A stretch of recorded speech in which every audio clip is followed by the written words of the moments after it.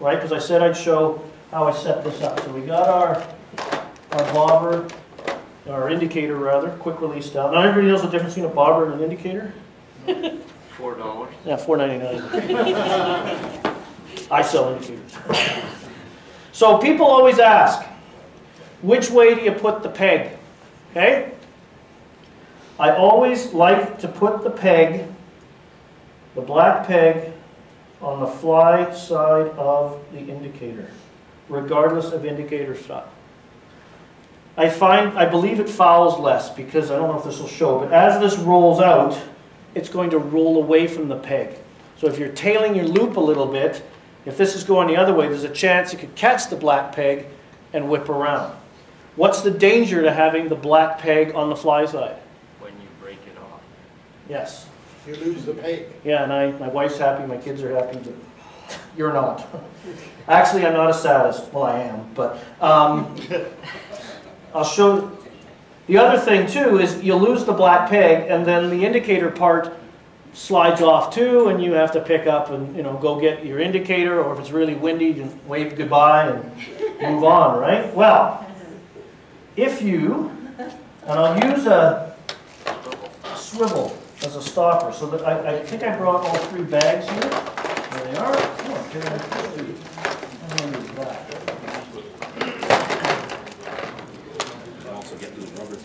Take the peg that faces towards the Well, yeah, you could, but I like, so these are the swivels here.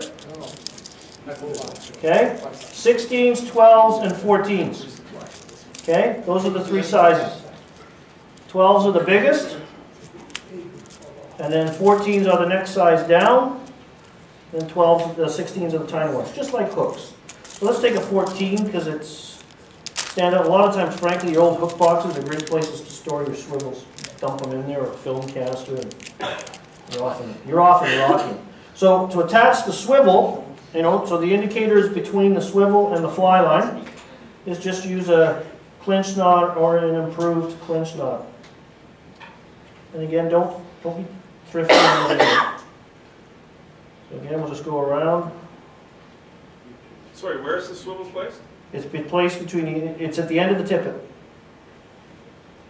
I'll show you in two secs. So I'm just doing this one, this is getting a little closer to the business end. I'll do an improved clinch on this one. Pull it tight. Trim. All right, so swivel. So there's swivel,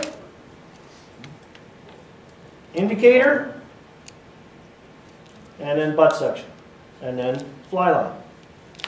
Throw that all on that side. So throw all that down. And you can see if you have a break off, what happens? You're saving everything. You're saving everything. Because the break off is going to occur on this side of the swivel, you hope. You know, if everything, you know, there are those freak break offs if you nick it or something stressed up here, but in most situations, it's going to break off here or at the fly line a little bit further down the road. So let's, uh, let's put on uh, some tippet because then we can flow right into the dropper section. What have I done? Did I throw it? I did. So I need, here my little leader gilly. So you notice that swivel on there where you cast? No, not really. Not when you got a bloody big indicator. now somebody said, "Oh, that's swivel. That's not fly fishing." I figure when you chuck an indicator on, yeah, I think you already played that not fly fishing card. Just my opinion. Okay, so there's my and and because you know I might depending on if I'm going to start, you know, I'll put two to three feet on. We'll, we'll do that here. And again, just on the other side, We'll set that up. In you go.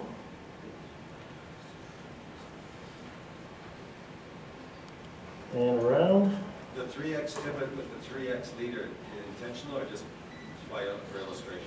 Uh, no, I'll do that. I'll do same or, or lesser because the, the this the indicator and the swivel, everything kind of flops over. Okay, this is not a with your indicator fishing. You know, with that long 18, 20 foot, I'm going for as much distance as I can comfortably carry. Get it going once, twice, shoot on the third, off she goes, everything rolls over.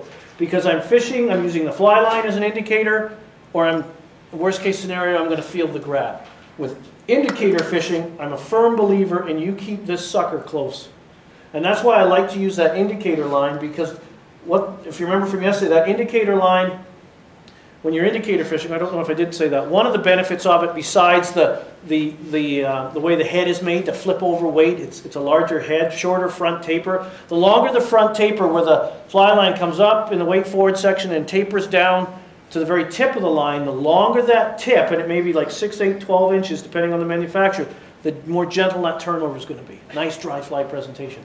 The indicator line shortens that because you're not trying to turn over a dry. You're trying to flop over all of this, some split shot maybe, and a couple of weighted flies. So you're not trying to get that delicate layout of a dry. You're trying to roll over some weight, and to move weight, you need weight, right? Just ask football linebackers, right?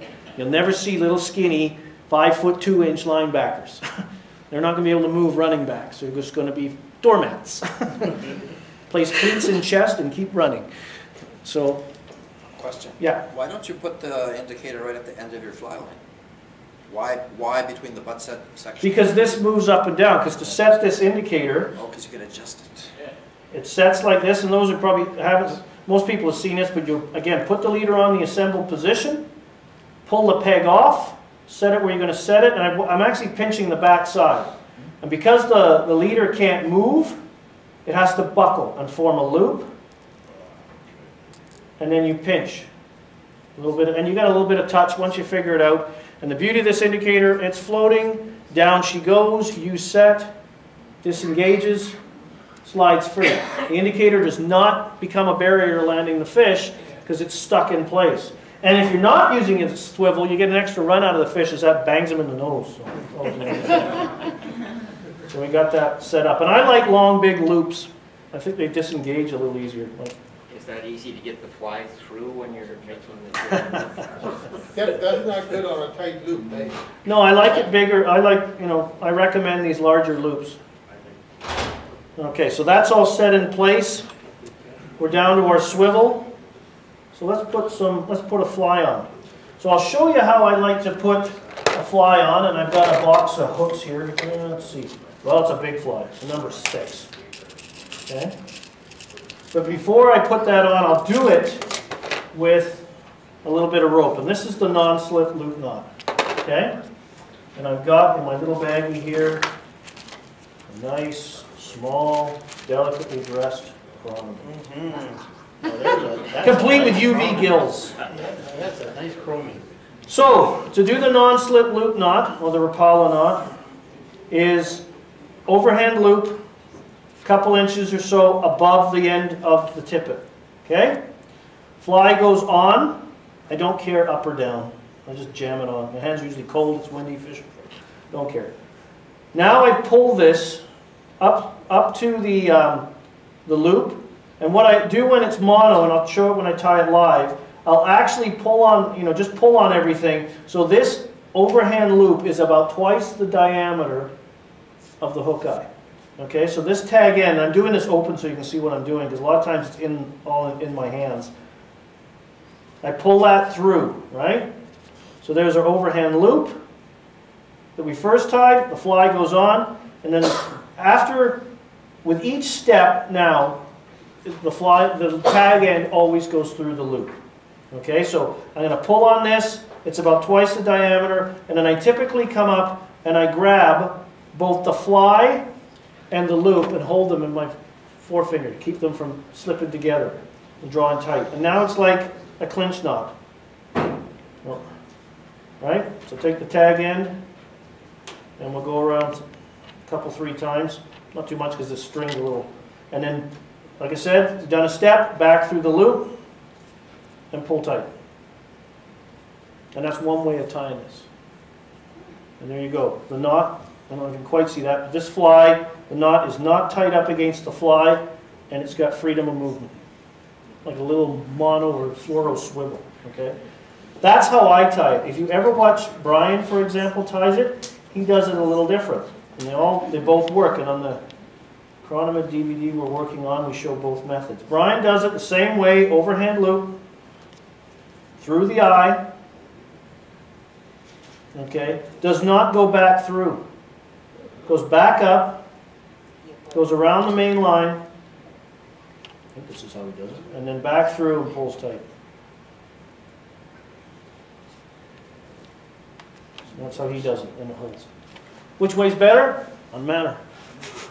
I would experiment with both, and for every knot, that one works better for me, that one works better for you. And that's what I do. Have you heard of the Bimini, or not the Bimini? It's a pivot twist, yeah, I've heard of it. It's a Berkley knot. Uh, yeah, the Trilene knot, you mean? Yeah, Yeah. it goes through the eye twice. Yeah, that's like, it's like a clinch knot that goes through Yeah. twice, but it stays, open, it, it jams shut. The purpose of this knot is when the knot comes tight, it does not go tight against the hook eye, it's open.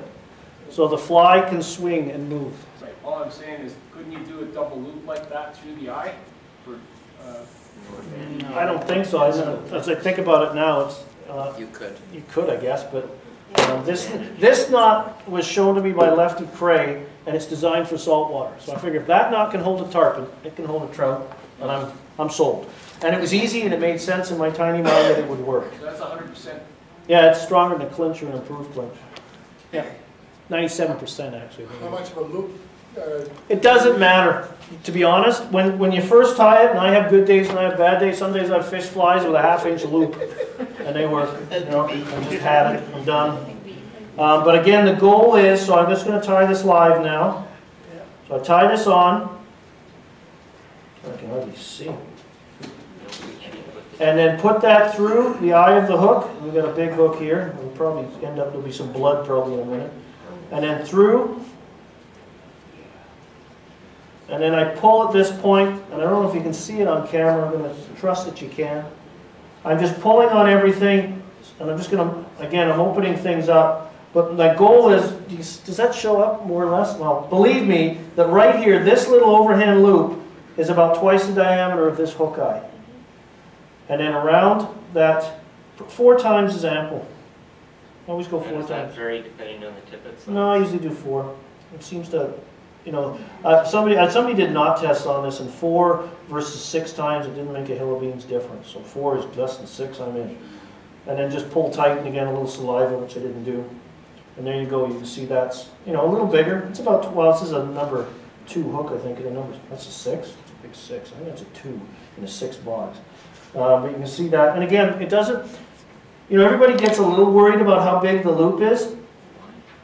If the fish can see the loop, he can see that you don't have the exact number of ribs, and he can really see this thing. You know, so all bets are off. Okay. on the heels, you But you can see how that's a great action. So there's one fly on there. So let's talk about droppers for a bit, real quick. So the simplest way to do a dropper is I want to tie a second fly on is take a length of tippet. And if I'm fishing under an indicator, it's less. If I'm fishing without indicator, under the water, three to five feet apart, depending on water clarity. The clearer the water, the further apart. So I'm just going to form a clinch knot here, or an improved clinch knot, without the fly, quickly. So it's formed, right? It's all there. Then I put that through the loop. Carefully lick so don't hook yourself. And tie on your fly and cut the right end. Right? Could you please leave a bit of your tag in? You can for slippage if you want, a little bit. I did there because it's, those nippers are dull. But it's not a bad, I don't mind leaving a little bit of a tag, just in case that knot slips. It's a little bit of insurance. Again, I don't think it matters. And then, of course, we would just tie on, oops, a second fly. So again, overhand loop. Through the eye.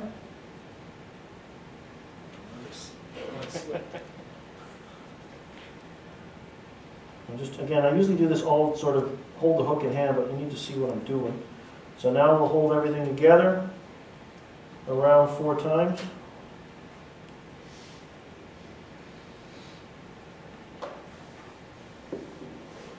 And then back through. I'm not, I'm afraid of hooking myself, because you know when you're doing demos, everything that can will go wrong? Be really embarrassing to be whisked to emergency. How'd you get the hook in your mouth? Well, when I simulate takes, I simulate takes. So that is a tandem setup. Okay? They trail one behind t'other. Advantage tends, the, probably the least tangle prone method. Okay? Drawback, I want to change this fly. Got to start disassembling. Okay? But we'll do that. So let's disassemble that. So the other way is to tie, ouch. All right, so you could just tie on, let's tie this, okay. Let's just do, I'm going to tie this with the hook on, so I don't do this. But you just do your triple surgeon's knot.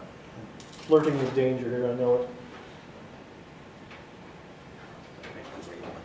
So we'll pretend right now that the, the fly I've got tied on, because just for speed purposes, I'm going to pull through. And I have done this on occasion on the water. I get lazy and just, something says, give it a shot. What could go wrong?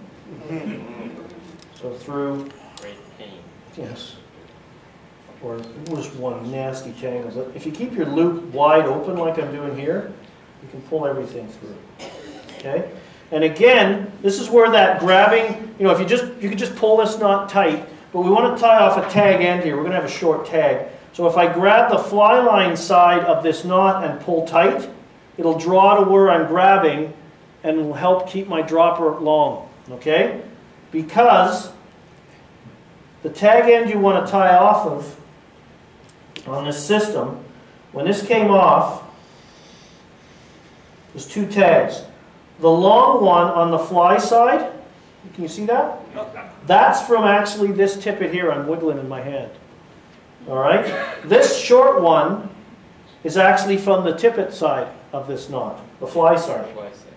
Because you want that because you're going to tie on the one that came off the fly line side of the leader or tippet. Because when something grabs this and pulls, it's going to pull on the knot and help tighten it. If it was to tie on here, it's going to work against the knot and could cause you some tears. Okay? And then again, we would just tie our fly on here. Okay? And then you'd have a um, standard dropper setup. Okay? Now the drawback, the advantage to this system is I like the flies being away from the leader. I just like the action it gives. I just think it's better that there's no, there is nothing on the end of it. And obviously you can easily change flies anytime you want. The drawback to this system is you'll consume this and then you've got to, in theory, um, you know, redo your tippet again. So let's pretend I've made some changes or this dropper is too short. I want to keep my droppers about six to eight inches long. They tend to tangle less at this point. So you can, now we'll do the, the sliding dropper. And I'm going to do this out of backing just because it's totally different color. So this is not to length, but, so I've taken that, I've just trimmed off, pretend this is this right now, the 3X is actually this.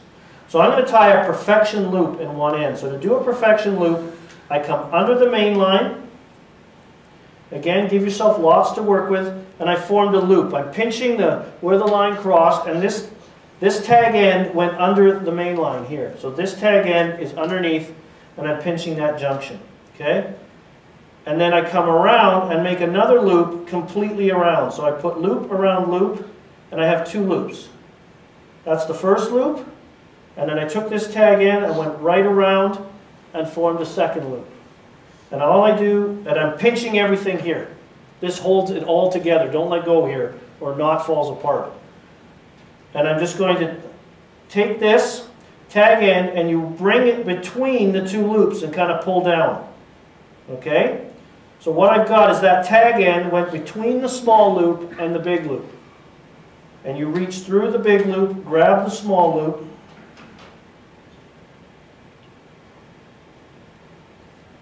and pull. And you have a loop. It's double perfection. The double, you would Double make, perfection. double, you'd make two, two main loops before going around. There's two loops on the double perfection. I don't use it. So you actually make four loops. Uh, you'll make three. Where you make two and then And then one the- and then one. you'll make two loops, so you kind of go like this, and I never actually really tied it, and then form a second loop, kind of like a pair of rabbit ears, and then you go around and pull through. I don't, I, I don't know why Vladdy, I'd have to ask Jack, but the single one works just fine for this kid. Less comp, the KISS formula, right? Just because you can, if you want to make double loops, you can, but I, I like, this works for me, and I can tie a, a perfection loop very easily, um, doing this way. And now what I'll do is I'll find that, that junction, okay, and the key here, that's my surgeon's knot. Can everybody see that? Okay? There's the fly side of it. So above, on the fly line side of the leader, I come underneath, go through, work the, the, the main part of the perfection loop, and now it's on. And this loop can slide up and down, but typically when you cast, That's going boing and hits the stopper. And see how nice and straight that stands out too? And this, when it's got a fly on it, this will spin around the main line and tends to tangle less because this has a bit more freedom on it to do what it needs to do to stay away from the main line.